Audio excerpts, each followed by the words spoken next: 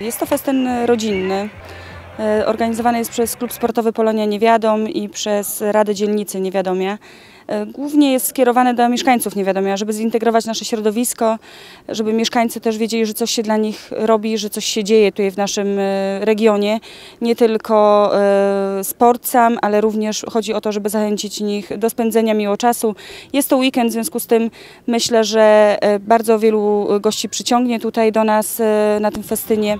Ponadto ten festyn prowadzi do e, również e, naszego, takiej promocji naszego klubu.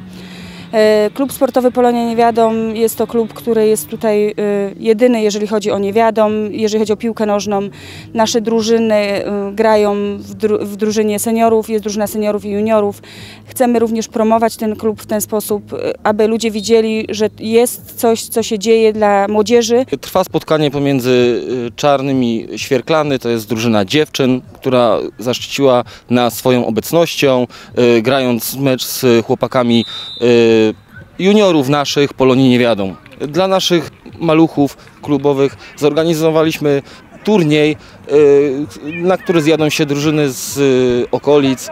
Y, Myślę, że to będzie taki turniej, który, który pozwoli im się rozwijać.